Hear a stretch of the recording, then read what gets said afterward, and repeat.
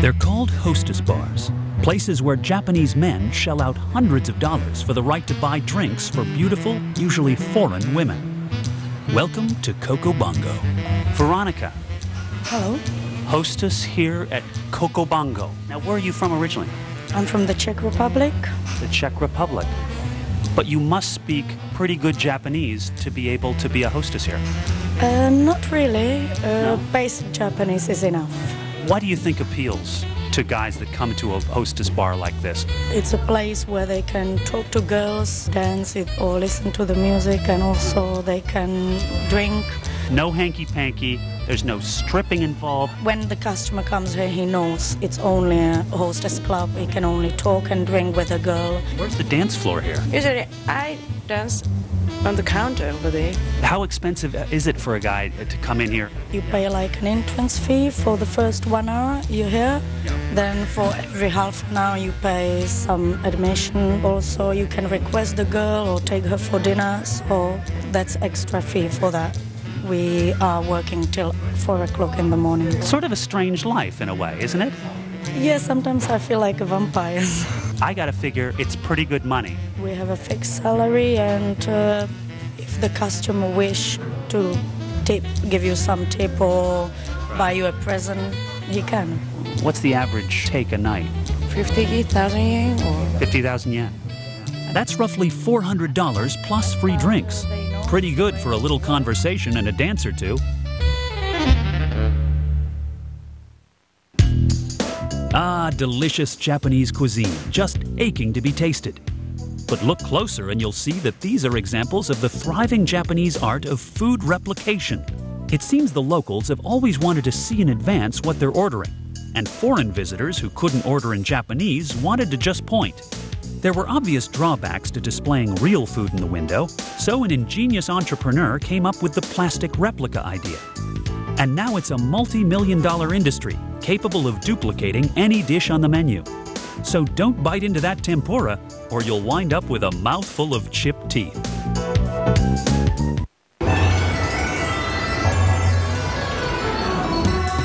Ryogoku Station is smack dab in the middle of sumo wrestling territory.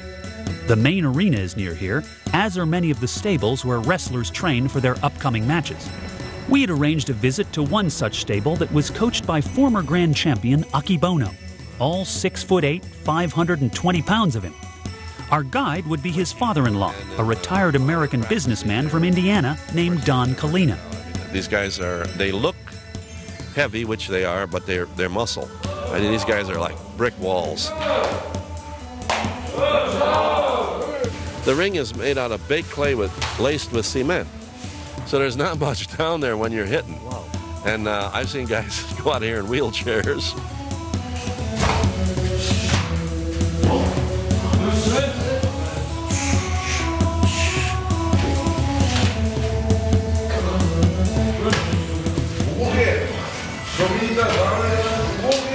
And they're pulling on their things like that's got to be painful. Oh yeah, yeah. The pain is nothing here. That's that's part of the training is pain. After the first round of sparring, the rankings of the stable's wrestlers were rearranged, a process that received considerable attention. Hitting and sliding and being tossed. I mean, it's, it's just an exercise. All essential skills to being a sumo wrestler. That is true. Akebono is Hawaiian and was the first non-Japanese to become grand champion. He stayed champ for eight years, making him sort of the Michael Jordan of sumo. He's treated like royalty, and when he took a break to get his top knot retied, we saw an opportunity to interview a bona fide hero. What do people do when you walk down the street besides get the heck out of your way? what is the average meal of a sumo one of these guys? What, what, do you, what do you eat in a day? Whatever you feel like. whatever you feel like. The object is to get them out of the ring, right? Get those guys out of the ring. Yeah, basically. Or put them on the ground. Put them on the ground. There's certain techniques, obviously. There- There's certain things you do. You, you hit them, you go for the throat. You, does anything go? Is there any rules that you can't do? Uh, no pulling on the top knot, no gouging in the eyes, and uh, no close fist punches. Is the bigger guy always going to win, or does sometimes agility win out? Well, it's not always size, it's uh, speed. Most of the time, uh, the smaller guy tries to use the, the bigger guy's size against him. Do you think somebody like me could put enough weight on to become a wrestler? no. You start like this, right? You start all fours. Start on all fours. And then we get up. Okay, already I'm in trouble. Already, I don't like this. Of course, I, I wouldn't have a mic, would I? Put down your mic. I'll put on the mic. All right. Okay, that's good, that's good. Oh boy, it's like a wedgie. It really is. I got his belt now. He's in trouble. Say I give up? Mic up. Mike up. Mike up. Well, there you have it. That's all the Tokyo we have time for. We didn't even get to show you Alcatraz, the dungeon restaurant that treats its patrons like convicts, or the blind acupuncturist who somehow knew exactly where to put his needles.